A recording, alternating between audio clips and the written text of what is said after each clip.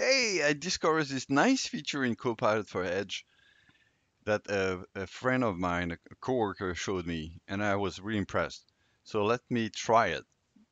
So you often have a lot of tabs open in Edge, and it might be complicated to navigate them. Know that you can ask Copilot to help you organize that, and you just have to say, organize my tabs.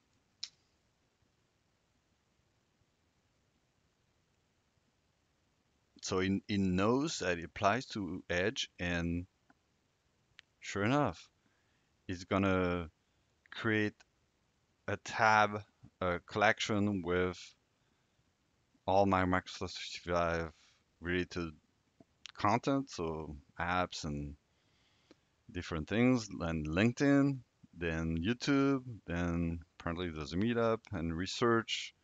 So that's the the different uh, website I was browsing, work, and uh, here's uh, something about the Copilot. So give it a try and let me know if it helps. Hope this was insightful.